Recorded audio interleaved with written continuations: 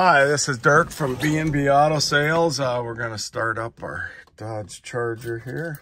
Put the keys in it. Just got it in. Hasn't even been checked over yet. Sounds good. Got good oil pressure. Gas gauge went up to just below a quarter. Blinker to the left. Blinker to the right. Horn not work. Wipers do work. Let's see if the radio works. Just an AM radio. That does not work. You know, it has um, uh, add-on cruise control, but doubt it works. Heater fan works.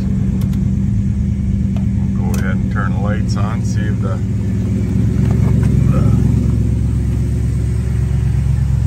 these have hideaway headlights, so we're to take a listen. It, it runs really good.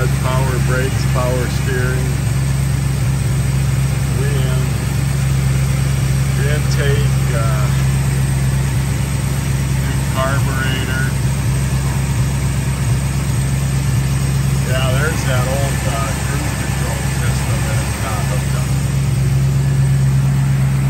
Headlight doors work.